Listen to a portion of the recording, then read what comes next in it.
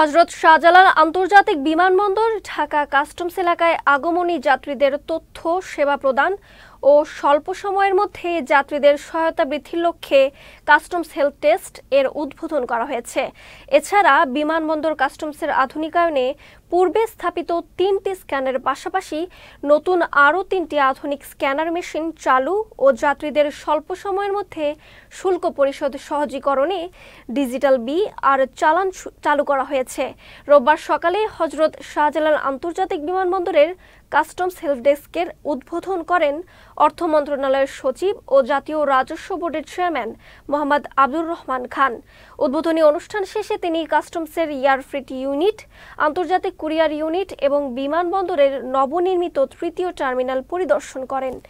এ সময় তার সাথে জাতীয় রাজস্ব বোর্ড এবং কাস্টমসের বিভিন্ন কর্মকর্তারা উপস্থিত ছিলেন।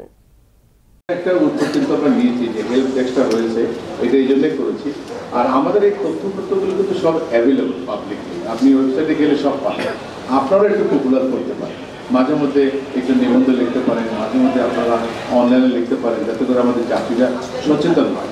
যে এই জিনিসটা আপনি ট্যাগ দিয়ে আনতে পারবেন, এই জিনিসটা আপনি ট্যাগ ছাড়া আনতে পারবেন, আর এই জিনিসটা আপনি ট্যাগ দিয়েও আনতে পারবেন, আর ট্যাগ ছাড়াও আনতে পারবেন।